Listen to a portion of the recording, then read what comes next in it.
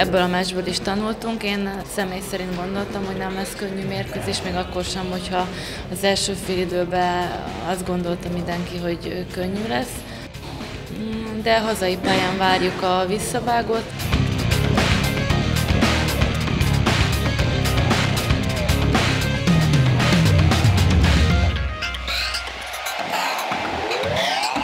Elsősorban az egyéni védekezésünkbe és a kapussal való kooperációba kell javulnunk, ez nem kérdés. Ezen kívül mindenképpen a, a, a tiszta helyzeteinket jobban kell értékesíteni, és ez elsősorban, amikor már egy, egy kisebb vagy nagyobb fajta előnyre teszünk szert, ugyanúgy kell koncentrálnunk. Nem kell nagy dolgokra vagy nagy dolgokba keresni a, a változást és a javulást, ezekbe kell.